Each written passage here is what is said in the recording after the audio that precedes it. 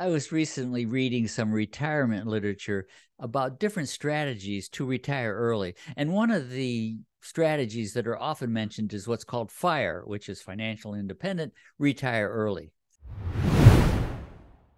The idea behind this is that you live in a frugal lifestyle to varying degrees so that you can take any excess earnings you have, put them away into a retirement plan, 401k, savings, stocks, whatever, so that then you can retire early. So, financial independence, retire early, or FIRE, is the way to retire early. But as I was reading this, I thought it's also the way many people start their businesses. They build the capital they need to start that business using the FIRE approach.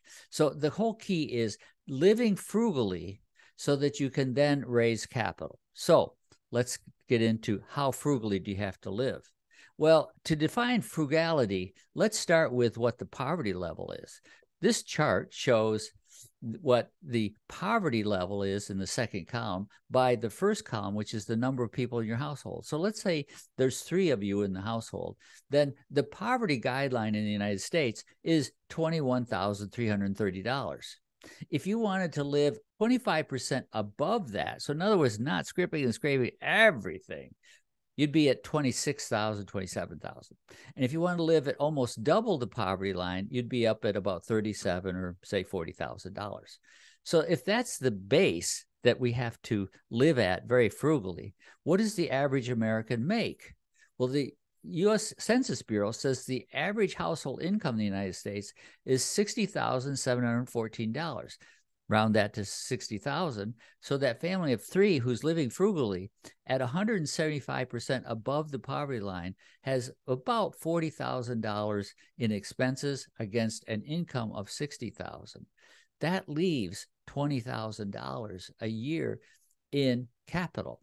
So, how do you live on $40,000 a year? Here is a sample budget of what a $40,000 budget would look like $12,000 in housing, 1200 in transportation, 3000, 4000 in food, etc. So if you could live on this, you could raise about fifteen to twenty thousand dollars a year to put towards the start of your business. Yeah! Now, it also varies by age. So this chart shows the average income in the United States by age. So if you're just starting out and you're 20 years old, you make 40,000 and you spend 40,000 even living frugally, it's going to take you a long time to save enough money to start your business. But as soon as you hit your mid 20s, and then once you're on up into 35 or 40 years of age, then you have enough between your income and living frugally that you can save up your starter money rather quickly. But you're probably not average. So, what are the average costs to start a business? Well, Zippia has done research on what is the average cost in the United States of starting a new business. And the average cost falls somewhere between 30 and 40,000 depending on the kind of business that you're starting. Some are very low cost, low capital, some are much more. So let's take the high number of $40,000.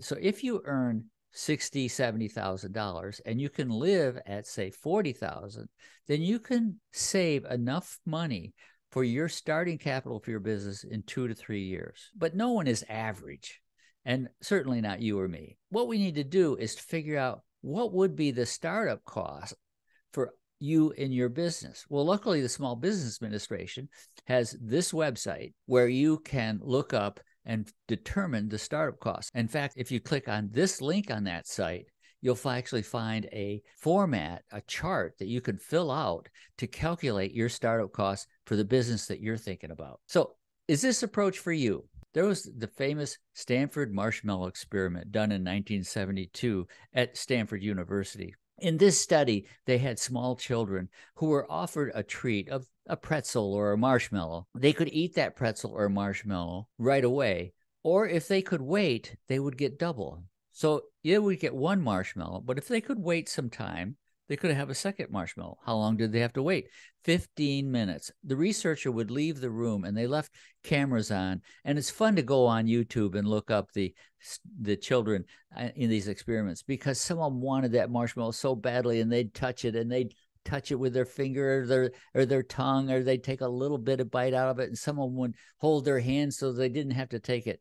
What they discovered was some children would eat that marshmallow right away and other children would do whatever they had to to delay that gratification and get that second marshmallow. Over time, they studied these children.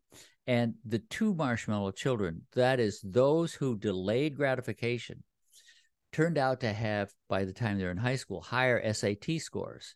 They had higher educational attainment, and they even had a better body mass index. In other words, these were the people who could delay their gratifications now for some result in the future, and it affected them tremendously. Now, this study has been repeated hundreds and hundreds of times. And what they found is it's not nearly as dramatic as that first study, but it is a major determinant of success. And in fact, not only just in high school SAT scores, but also in career achievement throughout life.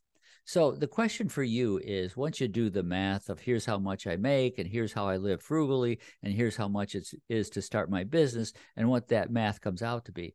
The key question for you is are you a one marshmallow person or are you a two marshmallow person? If you can avoid instant gratification and do delayed gratification for 2 to 3 years, you can have the money to follow that dream and start that business.